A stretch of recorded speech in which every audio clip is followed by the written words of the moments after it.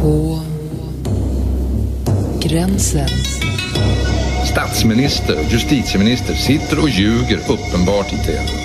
Ljuger oss rakt i ansiktet och så sitter hela gänget kvar. Ingen har reagerat.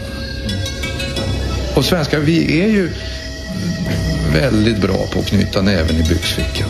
Jag tycker att man ska ta fram den och ruska den framför näsan på de här människorna som ändå är ansvariga för dem. Men vi får aldrig glömma att vi själva, var och en av oss, är ansvariga.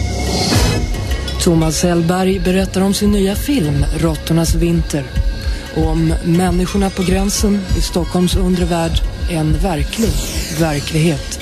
P3 söndag kväll efter 23-nyheterna.